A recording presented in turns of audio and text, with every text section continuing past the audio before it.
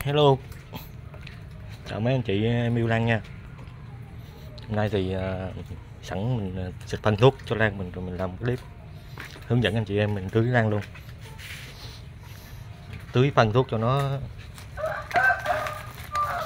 Mùa này thì uh, mưa nhiều. Nên uh, cây nó có uh, lượng đạm trong cây nó nhiều nên mình tưới thì hạn chế tưới đạm lại. Mình tưới mấy cái loại nào mà lanh kali cao ví dụ mình, đây mình tưới vườn mình. Bữa nay mình mình chạch đôi này. 630 30 cộng te của rau mo này.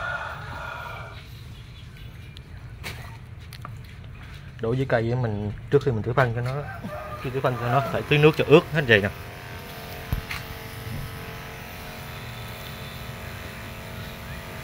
Nước cho ướt đẫm ờ, hết đi.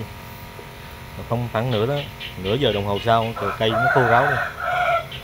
Mình mới bắt đầu mình xịt phân mình tưới nước cho nó trước, cho ướt hết vậy luôn.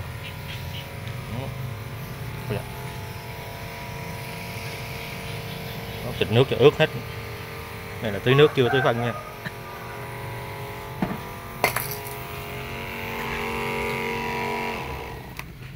Rồi mình tưới nước cho nó xong rồi mình ờ, mình để khoảng nửa tiếng sau cho nó khô ráo. Rồi mình mới tưới phân. Cái thời điểm tưới á, à, là, là lúc tốt nhất.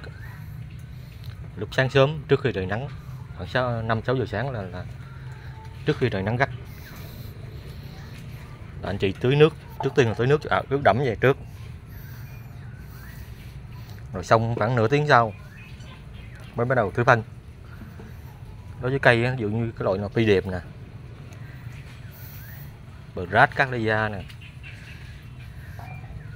Vũ nữ nè. Mấy loại mà cây lá mỏng.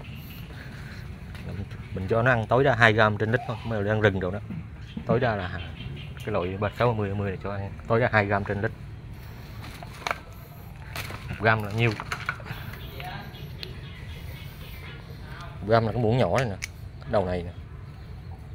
Muỗng chua chua cho nó bé ăn á, là một gram ví dụ cái mình mua cái bịch phân này nó cho mình cái ờ, cái muỗng này nè. Muỗng này đầu này là là, là 10 gram nè. Một lít nước đó. lít nước là khoảng chai này hơn. Nhưng mình mình lấy cái này mình tính lít thôi.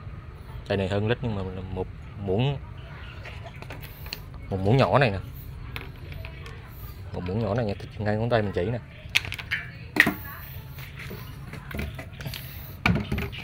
Một muỗng nhỏ này gạt bằng mặt pha với một chai nước này.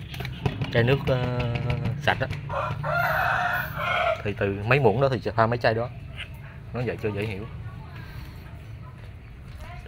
Đối với cái loại lan mà kiếm này nè. Kiếm này thì mình tưới đậm lên. Ba bốn gram trên lít đều được.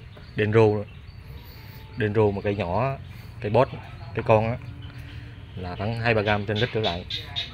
Denro cây bự mà chứ quất bốn năm gram trên lít là không sao hết. Kiếm này cũng dễ năng mặn lắm. Mấy loại kiếm này, lá bự nè. Là nó ăn đậm. Bốn gram lít còn mấy loại mà vũ nữ phi điệp hàng rừng bờ rát các lây da. Thì à, mình cho tối đa 2 đến 3 gram trên lít thôi. Đừng có cho ăn nhiều quá. Ví dụ mình tưới vào buổi chiều buổi sáng mình kẹt công chuyện gì mình tưới không được. Buổi chiều cũng vậy. Mình ra mình tưới cho ướt đẫm vậy trước đi rồi bắt đầu mình mới pha phân, nửa tiếng sau mình pha phân thuốc, mình xịt, mình tưới.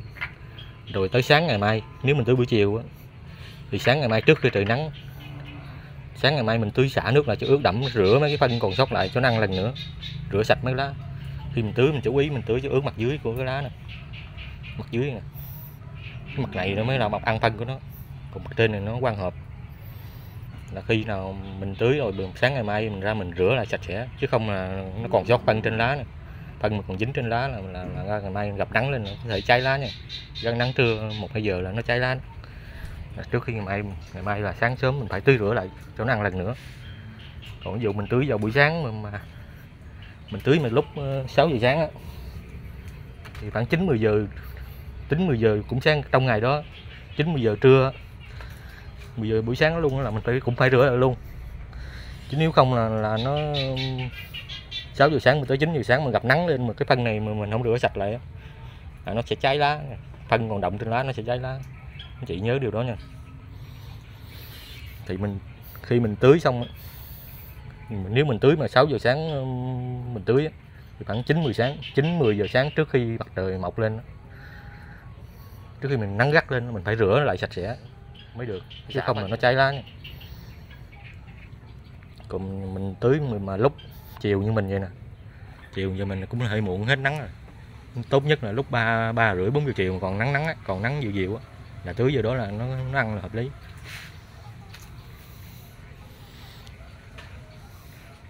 Đối với cái cây này á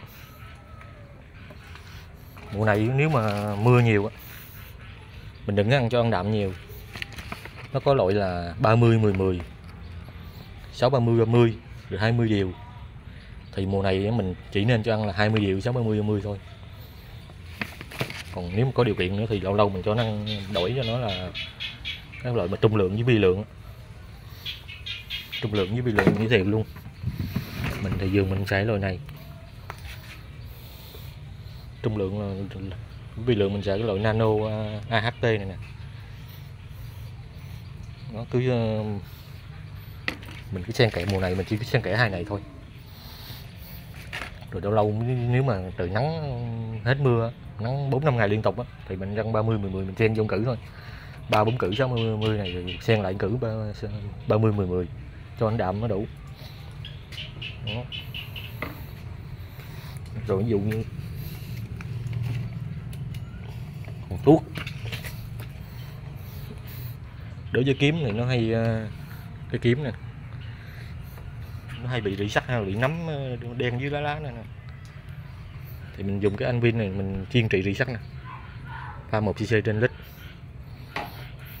Còn cái loại này thì anh chị cũng pha 1 cc trên lít nước luôn. Hai này có thể trộn chung được nha. 30 10 10 dưới này có thể pha chung trộn luôn cũng được. Ví dụ mà một lít một chai nước nãy á, chai nước nước ngọt nãy 5 xị là hơn lít. Mình pha một gam này cộng với này mình cho ăn chung luôn cũng được. Không sao hết. Còn lâu mình, mình xịt thuốc ờ, này để mình phòng nấm bệnh cho nó nè. Anh viên này để trị phòng rỉ sắt. Rồi có cái loại măng cô ghét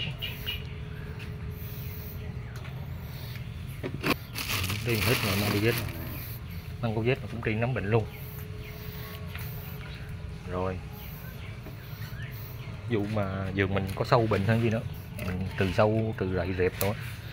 Mình có thể dùng loại này cũng được. Chị mua cái loại thuốc nào cũng có hoạt chất abametin này nè, hoạt chất này nè. Thì thì theo cái liều lượng trên chai ta kêu pha bao nhiêu ga- ml ta kêu pha nhiêu thì mình pha nhiêu thôi nè mình thì dùng, thường dùng loại này, hoạt chất abametin có nhiều loại lắm. Đó cũng được từ sâu á.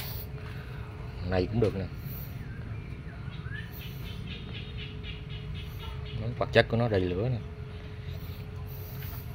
Thằng này thì nó thịt nó hơi hôi lắm. Hai ba ngày nó mới hết.